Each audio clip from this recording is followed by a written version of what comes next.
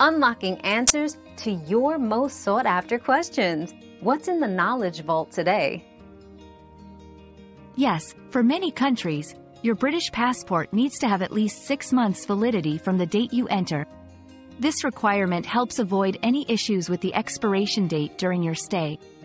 It's part of standard international travel regulations aimed at ensuring travelers can return to their country of origin without complications.